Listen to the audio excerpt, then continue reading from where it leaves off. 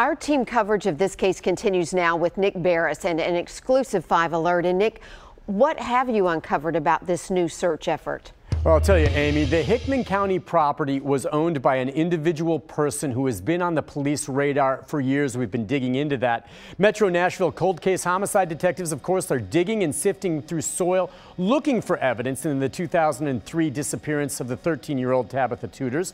Police have tracked hundreds of leads over the years, but what is it that led them to start digging on this property in Bon Aqua now 17 years later? People wondering.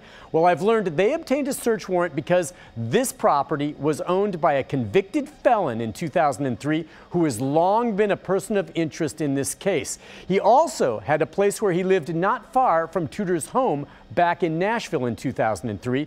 Police have always stopped just short of calling him a prime suspect, but they say his name just kept coming up in the investigation and in tips they were receiving. So the way I had it explained to me from those close to the case, Cold case detectives still have their suspicions. This guy owned a remote piece of property, and if he took Tabitha, this is where he might have hidden her body. So, what are they doing today? They're digging, looking to see what they are going to find. And Amy, there are seven acres on this property. I'm told they could be there for days. Yeah, and what more do we know about this person of interest? Continue to look into this. What we know is he no longer owns that property, has under questioning denied any involvement in the Tuders case.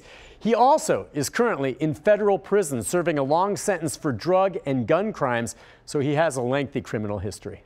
All right, Nick, I know you'll stay on top of that. Thank you. And if you're not familiar with the disappearance of Tabitha Tuders, head to newschannel5.com to read about the development since it happened back in 2003.